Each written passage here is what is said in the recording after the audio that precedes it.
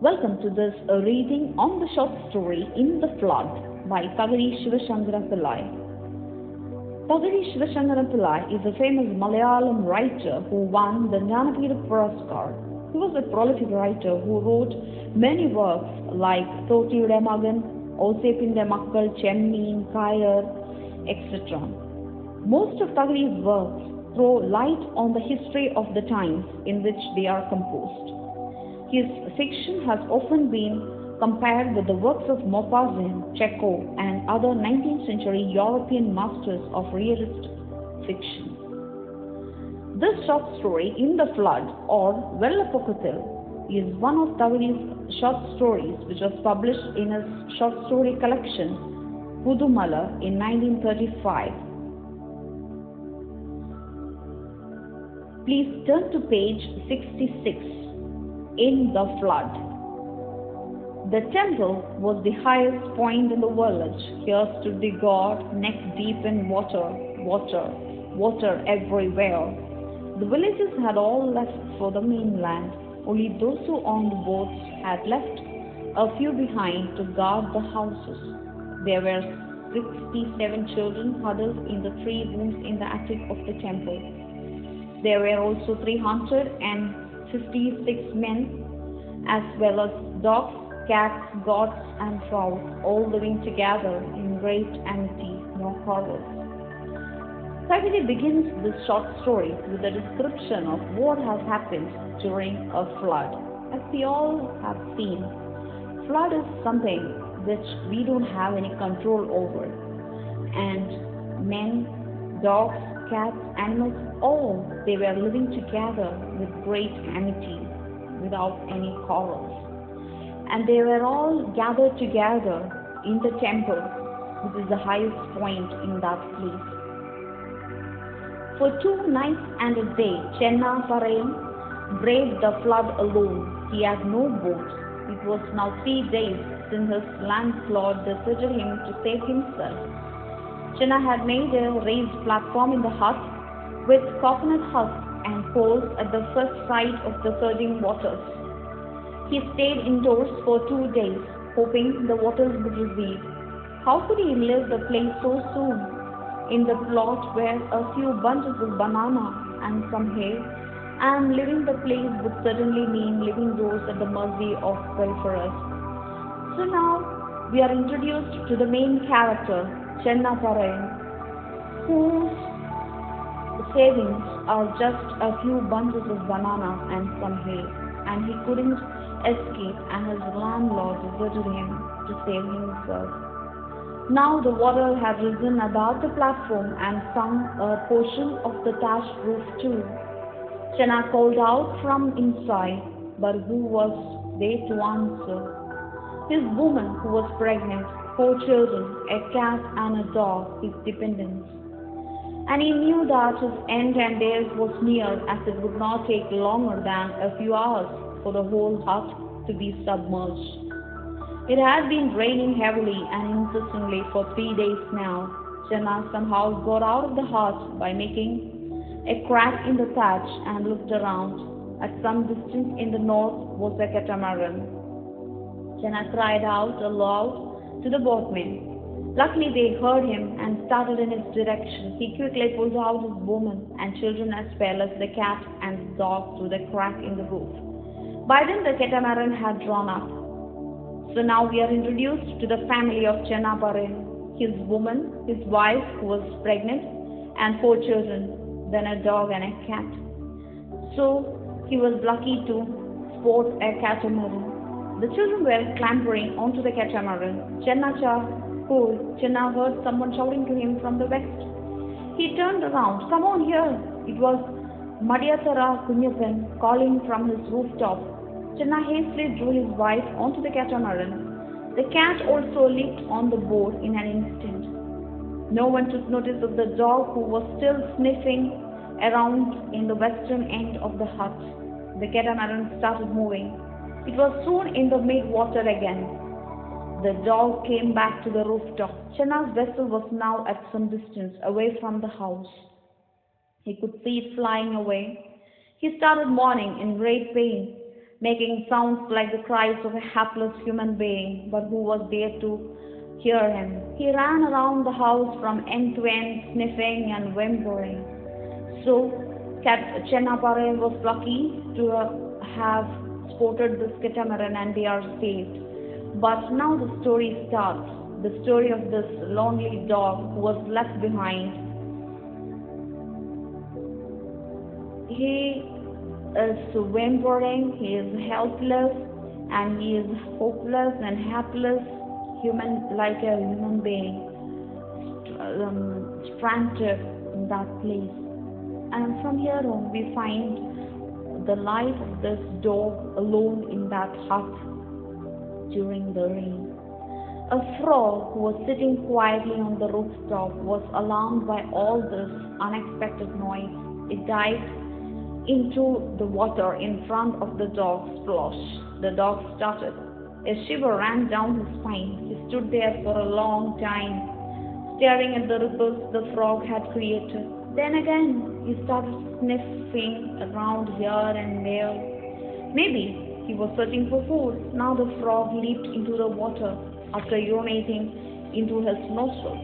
This made him very restive, and he started sneezing violently. Then he wiped his face clean with one of his forelimbs. The torrential rain started again. The dog huddled up and suffered it through. His master had by then reached Ambalapuzha. Night, a huge crocodile floated past the house, gently brushing its half submerged roof as it did so. The dog lowered its tail in fear and started barking. But the crocodile just moved off as though it hadn't noticed anything. That hunger tormented animal wailed from rooftop, peering out into the dark and cloudy sky.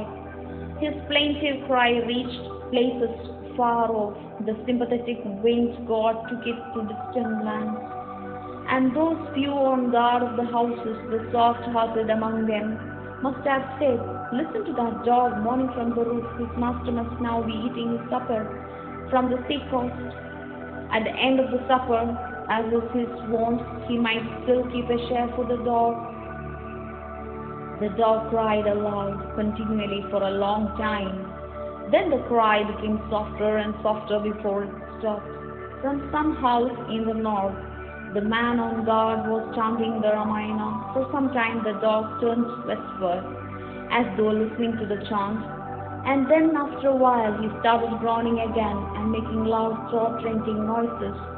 So gives uh, minute details about the dog's behavior.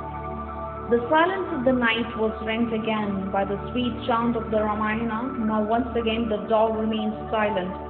A little longer took this time to listen to the mellifluous chant of the Ramayana. The gentle music seemed to dissolve into the whiff of a cold breeze.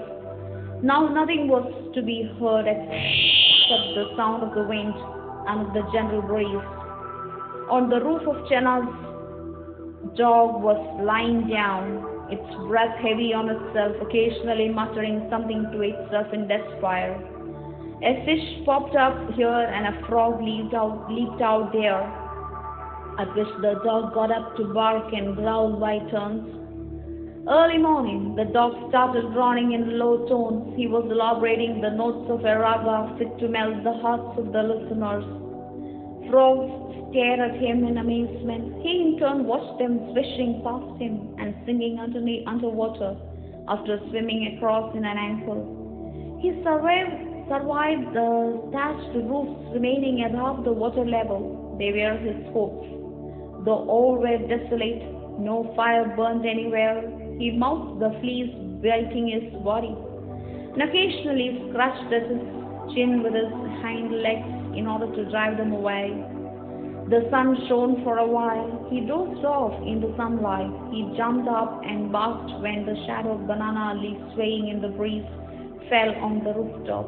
Then the clouds swallowed the sun. It was dark once again. The wind created ripples in water. Carcasses of dead animals were seen floating around in the waves. They were moving in all directions. They seemed afraid of nothing. The dog looked at all that in great desire. He growled. The small boat was moving swiftly at some distance away from the house. The dog saw it and got up wagging his tail. He watched it move till it disappeared into the grove of palms. It started drizzling. The dog sat down on his hind limbs, pining himself on his forelimbs, and gazed around. Helplessness writ large in his eyes. The drizzle stopped. A small boat came from the house in the north and stopped near the palm tree. On seeing it, the dog wagged his tail and sighed and growled. The boatman picked a tender coconut from the palm and broke it and drank up the juice. He then rode off. A crow, perching on a tree at a distance, swooped down on the rotting carcass of a huge bull. Even as the dog was barking at it lustily, the crow put its beak deep into the rotting flesh and started eating at it with an air of unconcern. After some time, having had its fill, the crow flew away. A green bird twittered from the leaf of the banana tree near the house. The dog became restless and barked. The bird too flew away. A colony of ants afloat on water was washed on the rooftop. The ants were saved. The dog kissed them, thinking perhaps that they were eatable. At this he sneezed again and again, his face turning red and puffed up. In the afternoon, two men came that way in a small boat. The dog was grateful and barked and wagged his tail. He spoke to them in a language close to human speech. He stepped into the water, all set to jump onto the dog, onto the boat.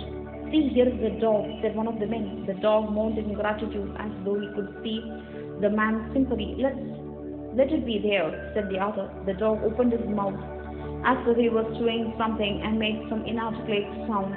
He prayed hard and tried to jump into the boat.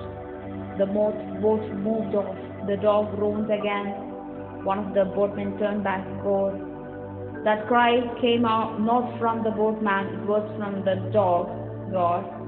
That weak and anguished cry soared into the wind. There was nothing to be heard after that. That except the interminable sound of waves. No one turned back thereafter, only the dog stayed, peering at the boat till it disappeared from sight. He climbed on the rooftop once again, growling as if bidding farewell to the world outside. Perhaps he was trying to say that never again would he love the uh, humankind. So here we find this helpless animal cursing humankind, the mankind, for deserting him. He lapped at the flood water and then he looked at the birds flying about. He saw a water snake frolicking in the waves move towards him. The dog swiftly jumped onto the rooftop. The snake sneaked into, into the crack in the roof left open by Chenna and family. The dog peeped inside through the crack and started barking gravely. Then he growled, a growl filled with fright for life and hunger. It communicated itself to the speaker of any language, even maybe to a resident of Mars, a universal language, a language of hunger, a language for cry. The night was terrible with heavy rain and storm. The roof started tottering in the waves. The dog almost fell off from the rooftop twice. Then there emerged a long head from under the water. It was that of a crocodile. On seeing it, the dog started barking in great fear. Was also the sound of fowls wailing together from somewhere nearby. Where is the dog barking from? Haven't the people in here moved out? It was from a boat carrying loads of hay, coconuts, and bananas that stopped near the banana tree. Boss, the dog is likely to leap down. And then the dog leapt down from the rooftop, and the man who had scrambled up went straight down into the water. The other guy helped him into the water. By then the dog had swum back to the roof. He shook himself dry and continued barking with renewed fury. The thieves took away all the bananas in the plot. You will get it, they said to the dog who was barking his head off. Then they loaded the boat with more of hay. At the end of them, climbed onto the rooftop. The dog, not to miss this chance, bit him hard on the leg. He got a mouthful of flesh.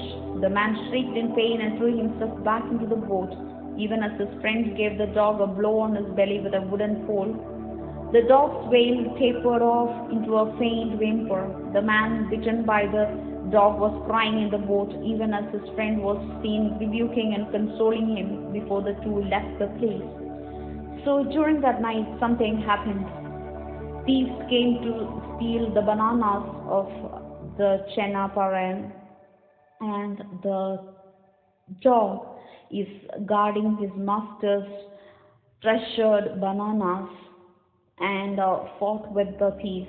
It was quite some time before the dog barked again, his face directed at the way in which the two had left. It was close on midnight. The dead body of a huge cow was washed atop the house. The dog was watching it from the roof. He didn't go down immediately. The cow was being moved gently by the flood water. The dog growled. He tore open the roof thatch and slowly went down. He bit at the moving body to bring it closer to himself. Yes, here's God's plenty. He started eating at it with great relish. It was an unexpected blow.